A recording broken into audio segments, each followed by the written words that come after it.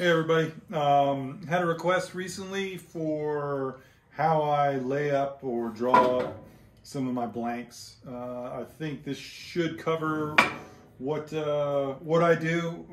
Everyone has a little different process, and even within what I'm going to do uh, today, there's a couple different ways to do it. Um, but hopefully, I'm going to try and just cover what I think is the easiest. Other people have different ways of doing it.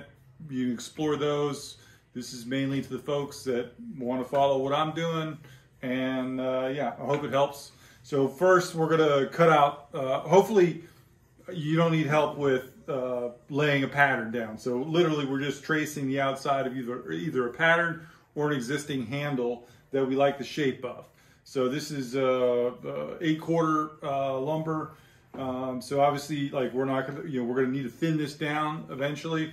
First, I cut out my uh, blank though. All right, this part should be pretty easy for most to get. Uh, just use light pressure, let the saw do all the work. You shouldn't be uh, driving it into there, but just follow your pattern. Uh, should be pretty straightforward. Um, you know, if you're having to push too far, you're getting some burning. You might you might want to check how old your blade is, that kind of thing. There could be some uh, some cleaning you could do, um, but otherwise, that should be pretty straightforward.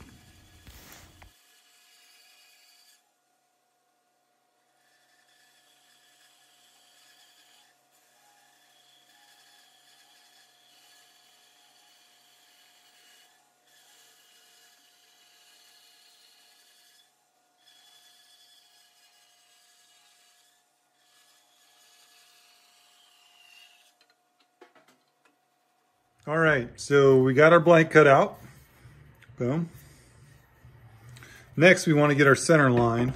Uh, I'm gonna put it in the vise here. I use uh, one of these deals where it kind of auto finds your uh, center line.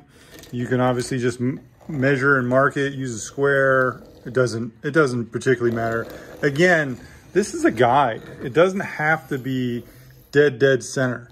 Um, you're going to end up shifting around a lot, give or take uh, some of the other things that are going on, whether how the, the head's fitting, um, whether the eye was crooked, that, that kind of thing. So it's not super, super critical. The next is I'm going to measure off this center line and I want, uh, I think it's about a half inch on either side.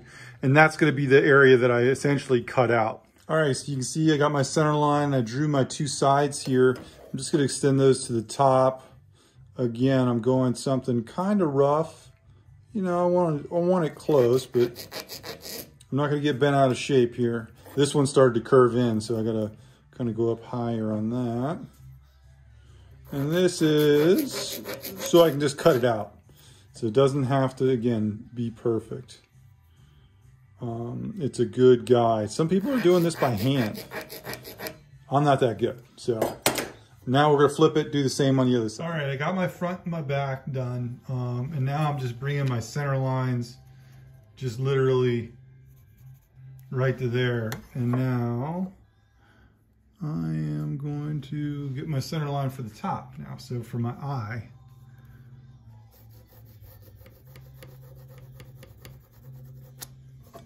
boom. And so after this, we're gonna go trace um, you, you would trace your eye, but at this point, uh, the bit I'm using for this is actually quite a bit smaller. So we're gonna end up trimming away more than what we're gonna do, uh, or more than I'm gonna do right now in this example of just showing how I mark up. So let me bring this back out. So just as an easy go, I'm gonna be cutting off right along these lines on the outside. And so again, I'll just have a, a thin down blank. Now, um, you can go, uh, once you trace your eye and you have your width there, a lot of times uh, you're gonna, I will use a bandsaw again to remove even more material. But I think the original question or the original uh, person that was contacting me that wanted some help, uh, I think they got it from there. But hopefully, and you can see this is not perfect. I mean, I cut it out of the bandsaw. I mean, that's, that's actually, you know, it's pretty good. But it, it, this is not 100% square. Uh, and that's why you have a little bit of wiggle room in there. You're going to have to eyeball things and as you shape and as you adjust things, um, you, you, know, you'll be able to uh, address that as it comes. So here, if we had already measured our eye and traced that out, we might have uh, run a little bit tighter line here. Uh, but we just wanted to do the kind of the most simple uh, blank that I could think of. The only thing I did leave out here is I didn't mark up where I kick out for my palm swell. You'll see it kind of kick out right now. Uh, a lot of times I will actually mark that out. I didn't on this because this is part of a project. Uh, I have six of these uh, back to back that I'm doing. So uh, I already I, I, know exactly where I'm where I'm going with these. So I didn't do it this time. But I would recommend until you're really comfortable, just mark up everything. And there we have it. So that's the basics of cutting out your blank.